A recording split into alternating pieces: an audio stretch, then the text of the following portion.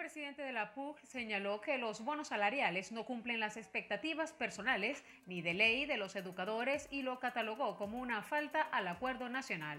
Lo más reciente de, lo que ha sido ya un, expediente sostenido de nuestros contratos colectivos de trabajo lo han vivido los profesores este 12 de julio, eh, cuando se pagó, el gobierno nacional pagó el bono vacacional y recreacional eh, ese bono, al ser estimado con base en el salario del 2022, debemos recordar que en Venezuela no se ajusta el salario desde hace dos años.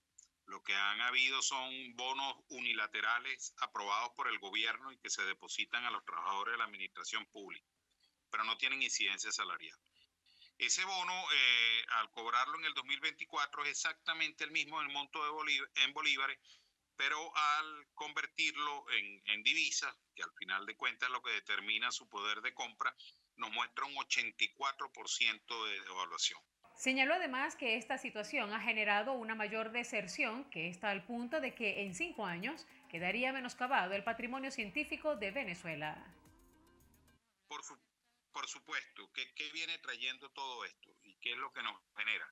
Nos genera lo que nos está pasando eh, lo hemos dicho en innumerables oportunidades, eh, nosotros nos estamos quedando eh, sin generación docente de relevo.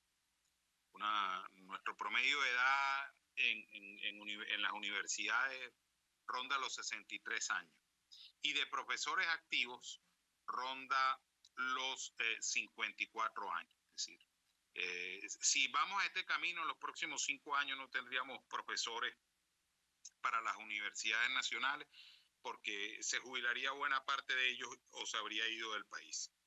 Si esto no cambia, nos vamos a quedar seriamente o va a quedar seriamente destruido el patrimonio científico de la nación.